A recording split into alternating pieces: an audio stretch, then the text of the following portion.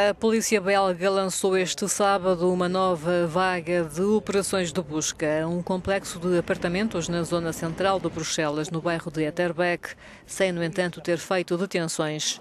Os edifícios foram evacuados e isolados pela polícia e especialistas forenses em busca de novas pistas que conduzam aos suspeitos dos atentados que estão ainda a ser procurados. Na sexta-feira foram detidas seis pessoas, entre as quais dois homens tidos como atores-chave nos ataques de Paris e Bruxelas. Mohamed Abrini, foragido dos atentados de 13 de novembro, e Osama Krayem, conhecido como Naim Al-Hamed. A identidade do terceiro homem no ataque ao aeroporto de Zaventem, perto de Bruxelas, continua a alimentar especulação. Vários meios de comunicação alegam que Abrini seria o famoso homem do chapéu encontrado ao lado de Ibrahim Lakraoui e Najim Lakraoui nas imagens do aeroporto. O seu ADN foi encontrado no apartamento de Schirbach, que serviu de base para os ataques suicidas de Bruxelas.